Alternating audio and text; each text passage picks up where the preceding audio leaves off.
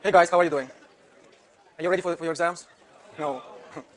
yeah, it was much nicer at the end of August, you know. The semester was just beginning and the weather was so nice. Now it's winter time in Berkeley, which means like 60 degrees or something. 55. So uh, today is the review lecture, okay? Um, in the last few lectures, I gave you an overview from the kind of a theoretical point of view of what this course is about, and in particular this last chapter that we have studied. And today, I would like to focus more on practical aspects of it, of it and uh, basically on the question, what do you need to know to do well on the final exam, okay? So I'll go over the most important points of the material which we'll focus on in the final exam, which again will be on December 19th. And um, I, am not going to go over all the information again. Everything is available on, uh, on online here, and also on bSpace. I will, I will also have last-minute office hours on the day before, on the 18th, in case you, uh, you know, suddenly don't see the difference between curl and divergence, and you panic the, the night before. You can come to uh, see me on, uh, on 18th, and we'll sort it out. I'll sort it out for you. Okay. Um, also, I want to tell you one more time that the exam will be at Hearst Gym in three different rooms. Okay, and uh, you will, uh, the room is determined by your section which is determined by who, who, your GSI is. And your GSIs have already announced the, room, the rooms for, for you, but you can find all this information again here and here. Okay? But you, you should be aware of where your exam room is. It's important that you are at the right place. You don't end up in a, uh, you know, it's Hearst Gym, so it's big and uh, it's easy to get lost. So be, be, sure you know which room you should, uh, you should show up at. Okay. Any questions about the organizational aspects of the, of the final? Okay, good. So now let's talk about the material. I already um, said that this exam will focus on the material um, after the second midterm, what we call the third season. And, but it doesn't mean that you should forget what happened in the first two seasons meaning that certainly problems, solving all the problems will require skills which you learned before. You should not forget all this stuff, right? Especially multiple integrals are a very important uh, part of, the, of, this, of, of, this material. So I think it's a good idea to go over that old material, perhaps not devote as much time as the material of the last chapter, which we studied since the last exam. But uh, you should probably review it nonetheless. Any questions from this part of the audience? No? Okay. Now, so I would like to break it into um, the material. So I will only talk about the material since the last exam. But again, don't take it as meaning that you should not know anything about what happened before. You should, uh, but the focus will be on this material. Okay, that's why I'm going over this material now. All right. So the first thing I would like to talk about is integrals. In this, uh, in this uh, part of the course, we have talked about different kinds of integrals. And I would like to summarize again what those integrals are and what kind of information you need to be able to compute them. So the first thing I want to focus is, is just the integrals. What kind of integrals? Well, we integrate over curves and we integrate over surfaces. So there are two types of integrals, first of all, depending on the dimension of the domain. Let me talk first about integrals over curves.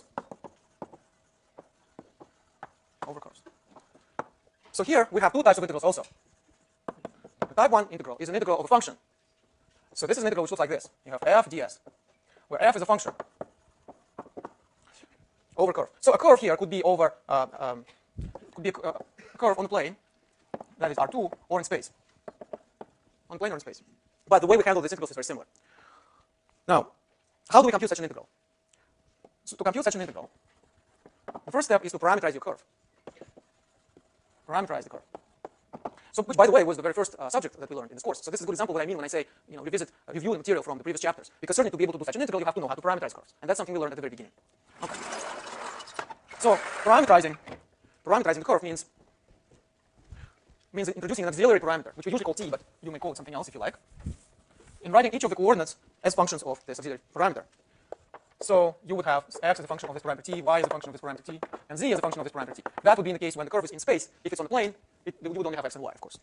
Right? And once you do that, this integral, ah, and then you have to say that t, what is the range for this auxiliary parameter t? And the range will be between some numbers a and b. So then this integral will be equal to the integral of f, where instead of x, y, and z, you, introduce, you insert those three functions, f of t, y of t, and z of t. Right? And you integrate from a to b. But in addition, you also have to insert a factor which has to do with the arc length of the curve.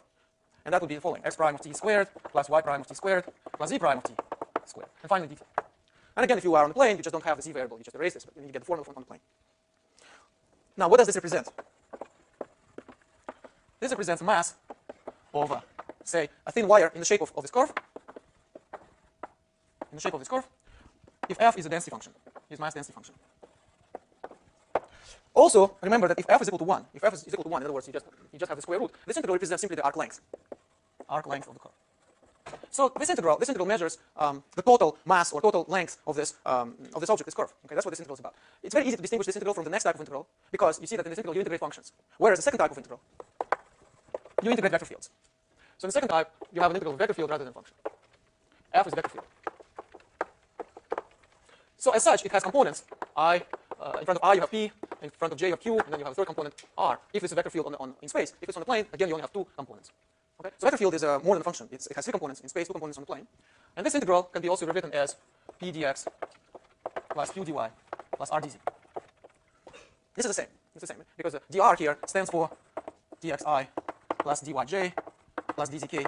And so if you take the dot product of these two, you end up with this formula. So these are two different ways to write um, a, a line integral of a vector field, either this way or that way. It's the same. Okay. In the case of a of a line integral vector field, there is an additional complication which we don't have for integrals of this type. For integral of this type, it's enough to just write this. You have to specify the curve, you have to specify the function, and that's it. But in the case of a line integral of vector field, you have to you have to specify an additional piece of data. So which I, can, I want to emphasize. Here you need orientation. We'll see.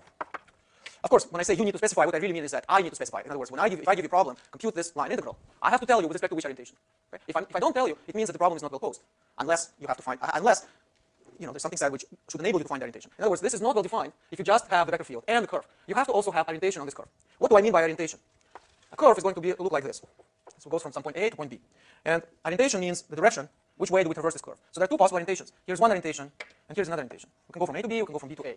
And of course, the answer, if you choose the first orientation, is going to be just a negative of the answer if you use choose the second orientation. But it's a different answer. Unless the integral is just zero, you will get a different answer depending on which orientation you choose. So orientation has to be specified, and you have to follow that orientation. So you have to be careful when you set up such an integral to make sure that you are computing it in the right direction. You're doing the integral oriented in the right, in the right way. Of course, here I have drawn a curve which has two endpoints. There are also curves which do not have endpoints. Closed curves. Here's an example of a closed curve. In case of a closed curve, it also has two orientation, two orientations, which we usually call clockwise and counterclockwise, right? So counterclockwise is this one. There is also a somewhat misleading terminology in the book, which is called positive orientation, which I would prefer not to use because it's positive, it's a, it's a matter of convention, right? So, so, let's just call it counterclockwise or clockwise. In the book, counterclockwise is also called positive. But I think uh, there's potential for, uh, for misunderstanding if you use that terminology. So let's just stick to clockwise, counterclockwise. I think it's, fairly, it's very self-explanatory. Okay, now, let's say, let's suppose you have this. Um, you have chosen, chosen such an orientation. What will be, um, what will this, how to compute this integral? So, there, you use, again, parameterization like this. But now it's important to make sure that your orientation that you've chosen is, um, agrees with the orientation on the auxiliary parameter t. This t is actually, it just belongs to the one-dimensional space, to the line. And the line is oriented because points on the line correspond to numbers, and numbers are oriented. We can say which number is bigger uh, between any two numbers. So when we write it like this, it means that we, we identify the curve with the interval from a to b. And the interval from a to b is always oriented from a to b like this, right? So let's suppose that under this parameterization, you choose the orientation like this. So it goes from this point to this point. And this point is t equal a, and this point is t equal b. Okay? Let's suppose that. In this case, this integral is computed as an integral from a to b of p x prime t dt. Well, let's just write like this. Plus q y prime plus r z, z prime dt. But here is a here's a possible trick question. Let's suppose I will ask you on the exam to compute such a line integral where the curve is oriented in a different way. Okay? So if you don't pay attention, you would say, okay, that's just you would find your parameterization, where again, let's say t equal a corresponds to this, and t equal b corresponds to this. Let's suppose. And then you, if you don't pay attention to this stuff, to the orientation, you might want to write it again like this. And that would be wrong, you see, because you have to make sure that with respect to the orientation which you are told to use, the, the parameterization is such that you know, the, the, lowest one is the initial point, the lowest value A is the initial point, and the larger, largest value B is corresponds to the end point. In this picture, that's the case, and that's why we end up with this integral from A to B. That, in other words, the integral that I got with respect to t has this orientation, which comes from the orientation of the curve. But if the orientation is like this, you have to go from t equal b to t equal a, right? Because you have to go from this point to this point. This point corresponds to t equal b. This point corresponds to t equal a. That's why. So in this case, then you should write it as from b to a, and then the same thing. Then, of course, what is integral from b to a? Integral from b to a is the same as negative integral from a to b. So you will actually end up with minus this integral. Okay? Is that clear? Ask me if it's not clear. So this is a, this is a subtle point, which you have to, you have to remember. Now, what does this, what does this integral represent? Interpretation of this integral is that it, it represents uh, work done by force. This is work done by force. By force F along C from the point A to the point B. You see, from this, if you think about this interpretation, it's, um, it becomes more um, it becomes more clear why there's a sign. Because when you talk about the work done by force, the force is moving an object, or it may be resisting a movement of the object, right? And, and so it's important whether you go from A to B or from B to A. If the force, let's say the force, let's say the force is, comes from the wind, and the wind is blowing this way, and so the, the wind is carrying me this way, so the, the wind does, does perform a certain amount of work, right? And this work is positive. But what if the wind is blowing this way, but I'm still, I still insist on going there, okay? Because I'm stubborn, so I, I, go against the wind. So in that case, I, I, I do work, not the wind, and so the wind is resisting me, therefore the work of the wind is negative. You see, so it's important to know not just the trajectory of the object, but, but it's also important, uh, the, the uh, you know, whether the relative position of the force and the, and the trajectory. In other words, the orientation of the trajectory relative to the uh, direction of the vector field. You see, so, that, so, it becomes more clear that if, if I go this way, uh, if I go this way against the wind, it's a negative uh, uh work. If I go this way with the wind, it will be positive. Okay? You have a question? That's right, that's right. When I write it like this, so the question is about this PQR. In this formula, I spelled it out. I wrote f as f is a function of xyz, but now xyz have become functions of t, so I substitute these three functions into f. Likewise, in this formula, I didn't write it just to save time, but what I mean by this is like this. and the same, same, similar for, for Q and R. Uh, for Q and R. Okay? So the orientation is important. It causes change of orientation results in, change, in the appearance of a sign. Okay, so that's, that's pretty much all about the setup of integrals for curves. So next we move on to integrals over surfaces. Integrals over surfaces.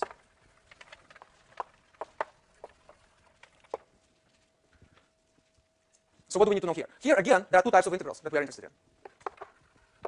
And there is a lot of similarity between the first type for surfaces and the first type for curves, and the second type for surfaces and the second type for curves. So the first integrals of the first type over surfaces are integrals of functions. So here again, f is a function. Uh, in this case, uh, you have a surface M, and it is embedded in R3. You could also have a surface embedded in R2. That would be just a, a region on the plane, like this, right? But that's, so that's integrating over such regions was the subject of uh, the earlier chapter, of course, chapter 15. These are just the usual double integrals. So here the novelty is when you look at surfaces in R3, which do not fit in R2, which cannot fit in the plane, but only fit in a three-dimensional space, like a sphere, or part of a sphere, right? So what I'm talking about is something like this.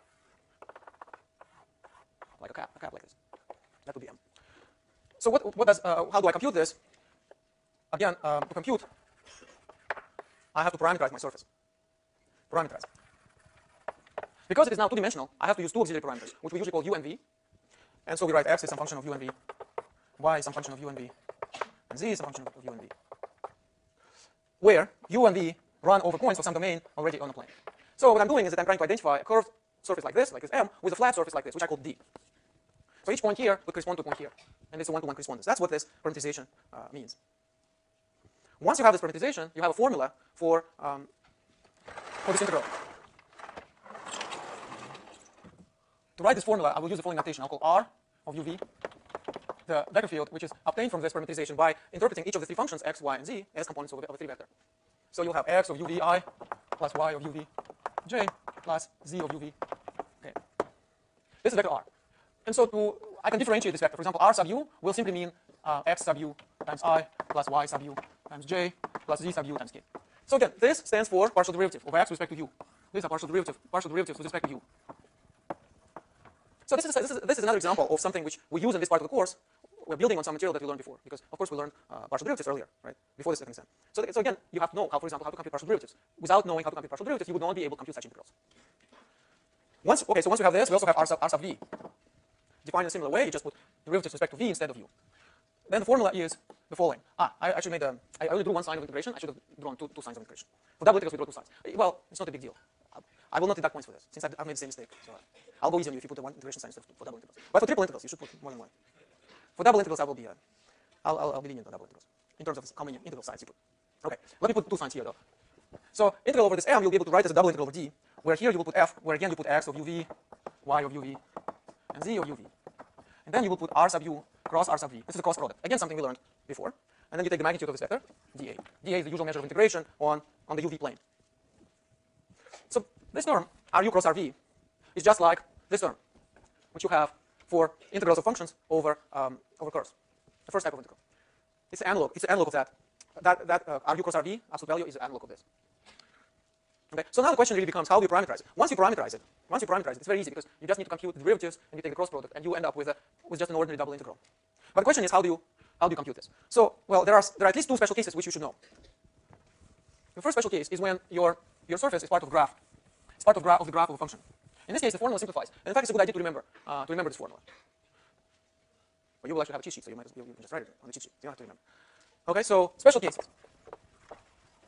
The first special case is when when the, when the surface M is part of the graph of some function g of x, y. So in this case, what we can do is we can just say that x is u, y is v, and z is g of uv. Okay? Or we can just stop pretending that u and v are two separate, are two additional auxiliary variables, and just call them what they are. I mean, let's just call these auxiliary variables x and y. So that the parameterization will be in terms of x and y. And